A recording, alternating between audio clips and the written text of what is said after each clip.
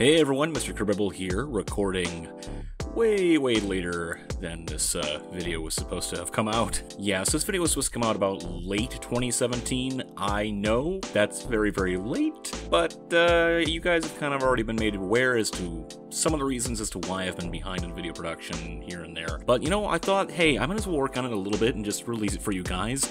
It's about D&D, um, obviously from the title. But uh, if you guys wouldn't mind just giving this a like and even just sharing some of your own stories of your own D&D characters, I'd really appreciate that. That'd be great. So that's a little bit of context for it. Um, yeah, hopefully I can get some more videos out here in the future, more in line with some of the stuff you guys want, say like for cosplay and other things. But you know what? I think I'm just gonna put some content out, so we're gonna have some content right now. Three, two, one, go. Hey everybody, this is Mr. Kerbibble here, coming at you in drawing form. Oh, this is uh, this is a change, isn't it? So, short reason, I felt like doing something a little different and just wanted to practice some new things. Anyway, I'm sure some of you know that I occasionally tweet or gram, as the kids call it, some updates whenever I'm playing Sunday Dungeons and Dragons.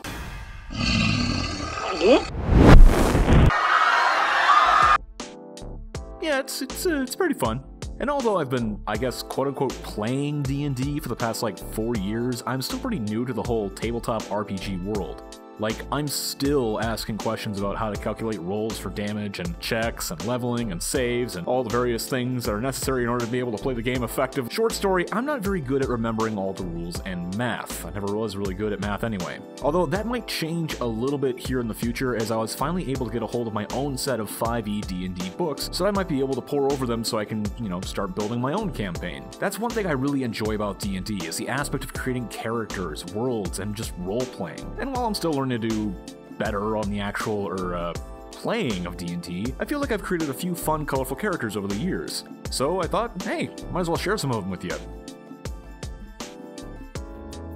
Okay, so way, way, way, way back, the very first character I ever created was for D&D 3.5. I'm not very experienced with 3.5. I think I only played maybe one or two games in that before we switched to Pathfinder, and even then, I didn't really pay attention that much, so uh, yeah, I really didn't know that much about it. But anyway, I started with 3.5. He was a human druid named Bartholomew, and I literally had no idea what I was doing when I was creating the character.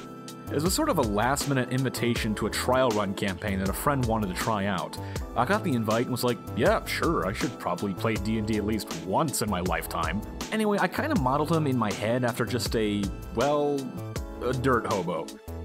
That was my actual mindset for him. I just pictured him as a guy wearing a friggin' potato sack, having long matted hair, and wielding a quarterstaff. Dirt hobo. Now, being a druid, I was informed that I could eventually get an animal friend. Spoiler alert, I never got to that point with this campaign. So, anyway, preparing for my eventual animal friend, I made sure to build my character around animal handling and animal riding. I was going to be prepared for any type of animal. Spiky, furry, slimy, feathery, all would be my friends, and they would love me.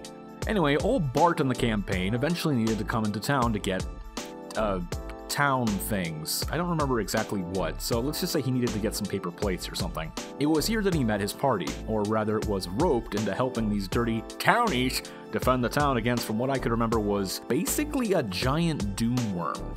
I'm sure that's not exactly what it was, but for the sake of the story, it, it basically was a dune worm. Yeah, a dune worm. You know, looking back on it now, it was most likely a purple worm, which, just so you guys know, is a challenge rating of 15 against 5 level 1 characters. To put it simply, that's like turning us into babies and telling us that we had to win a wrestling match by elbow dropping a steamroller made of spikes. I'm not really sure why the DM decided to do a creature like this in pretty much the second encounter. I mean, sadism is my primary theory, but yeah, it wasn't a big deal. Anyway, me thinking that absolutely nothing would happen to old Bart in this second encounter decided that my dirt hobo would attempt to ride the dune worm into submission.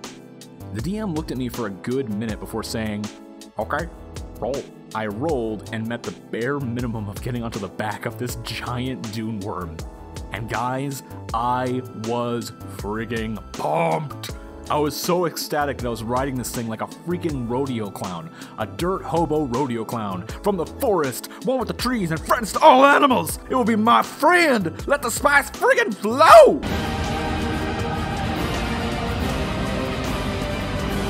Unfortunately, I rolled a critical failure the next round to do a check to hang on, which resulted in Bart being thrown high up into the air and come crashing down to the ground, promptly being body slammed by the dune worm. My dirt hobo became one with the dirt. Bart died. And no one did anything to bring him back. Bart, the dirt hobo. Bart, the worm wrangler. Bart, the boss. He was the glue holding that ragtag group of adventurers together. Eh, I'm just kidding. The campaign was so early that no one had the ability to help me out anyway, so whatever. Old Bart will hold a strange place in my heart, mostly because he allowed me to live out a completely radical fantasy. And that's what D&D is all about, guys, living out fun fantasies.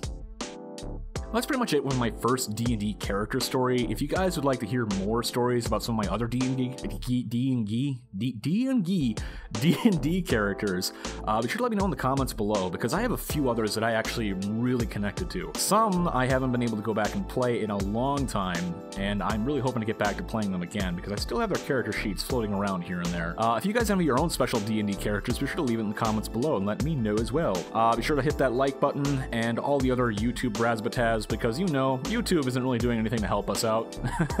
well, any YouTubers really, so be sure to help out your fellow YouTubers and the ones that you watch. Alright, I will talk to you all later. Thanks for listening, watching, whatever you're doing right now. Uh, bye.